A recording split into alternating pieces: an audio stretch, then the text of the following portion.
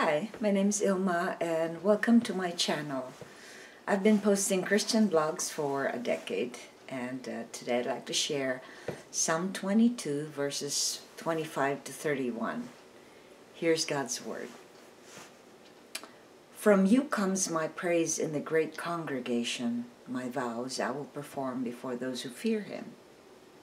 The afflicted shall eat and be satisfied. Those who seek him shall praise the Lord. May your hearts live forever. All the ends of the earth shall remember and turn to the Lord, and all the families of the nations shall worship before you.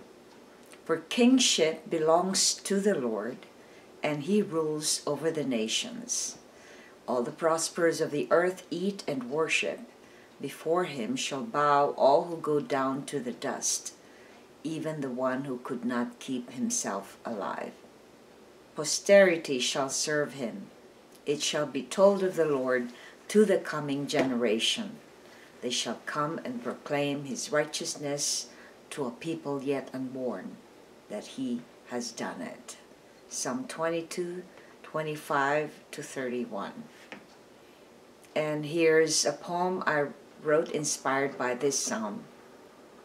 All the ends of the earth shall remember and turn to God. Only from the Lord Himself comes my desire to glorify Him. Without His grace and steadfast love, I will continually sin. He provides and anoints all those whom He loves. May all the chosen ones praise Him and never lose faith. All the ends of the earth will never forget what He did for us. He gave His only begotten Son to be the one to be sacrificed. With God's great love and sacrifice on the cross, we are saved and assured of a life and generation yet to come. May all the ends of the earth remember to turn to our Lord God.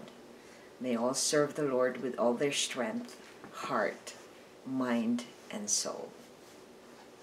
Reflection How can you, as a Christian, hasten God's kingdom to come? Well, there's a verse in the Bible that says that we need to spread the gospel to the ends of the earth.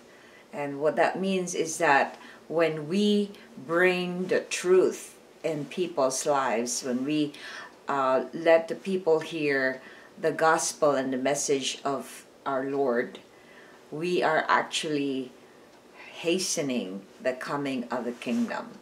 Because um, it says in the Bible that um, until everyone has heard of the of the gospel of the good news, um, he will give everyone a chance to repent and turn to him.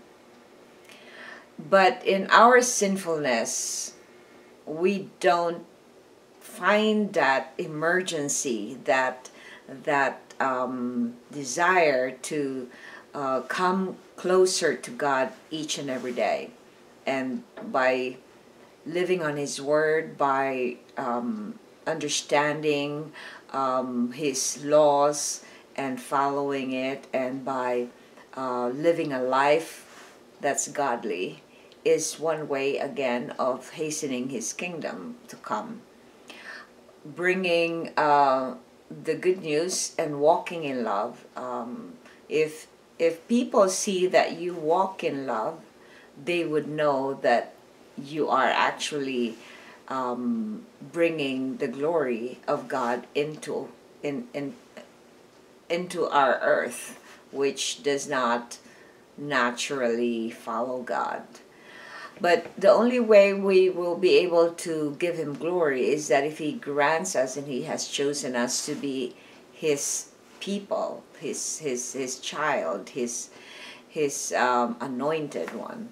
So it's important for us to um, do our purpose here on earth because a lot of times people don't realize that their purpose here is not to satisfy themselves, not to gather riches, not to um, be ambitious, not to have power, but to bring the kingdom of God in humility and um, love as He gives this to us in love, generosity, grace, and mercy. Thanks for watching. I hope you check my website at ilmaarts.com for artworks, photographs, and a copy of this blog. And I hope you subscribe to my channel on YouTube so I could make more videos for the Lord. Thanks for watching.